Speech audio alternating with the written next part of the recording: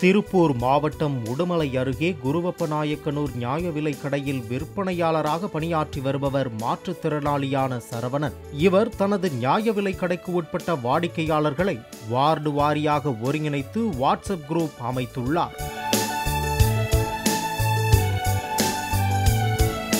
Ration பொருட்கள் விநியோகம் செய்யும் நாளுக்கு முன்தினமே அத்தியாவசிய பொருட்களின் இருப்பு விவரங்கள் குறித்து பதிவு செய்கிறார். மேலும் கடை திறக்கப்படும் நேரம் அடைக்கப்படும் நேரம் பணி நேரம் பணி நாள் அரசு விடுமுறை நாள் தற்காலிக விடுமுறை நாள் போன்ற அனைத்து தகவல்களையும் பதிவிட்டு பொதுமக்களுக்கு ஏமாற்றம் இல்லாமல் பொருட்களை வழங்கி வருகிறார்.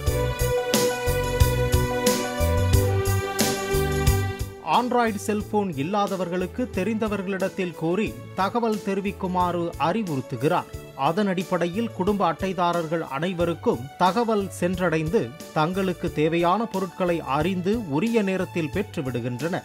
இதனால் ரேஷன் கடையில் கால் கடுக்க காத்திருக்க வேண்டிய சூழலும் இல்லை.